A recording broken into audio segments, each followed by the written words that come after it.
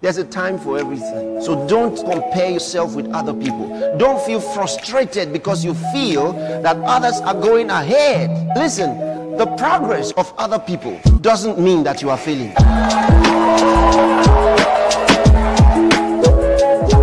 There's a time for everything. So don't compare yourself with other people. Don't feel frustrated because you feel that others are going ahead. Someone graduated at the age of 22, but waited five years before securing a good job.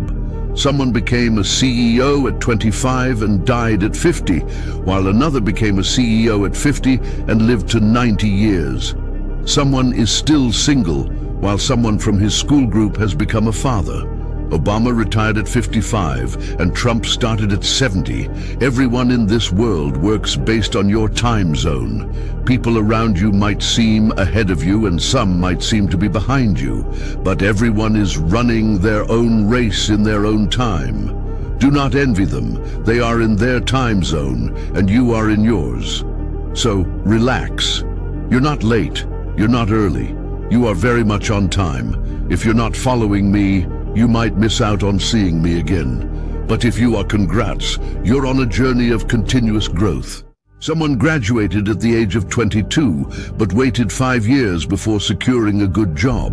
Someone became a CEO at 25 and died at 50, while another became a CEO at 50 and lived to 90 years. Someone is still single, while someone from his school group has become a father. Obama retired at 55 and Trump started at 70.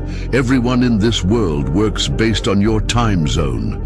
People around you might seem ahead of you and some might seem to be behind you, but everyone is running their own race in their own time. Do not envy them. They are in their time zone and you are in yours.